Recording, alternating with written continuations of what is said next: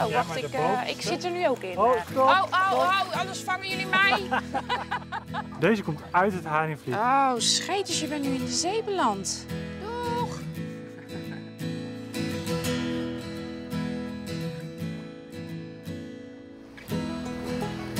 Wat maakt het zo genieten hier? Ja, de vrijheid en de rust, denk ik.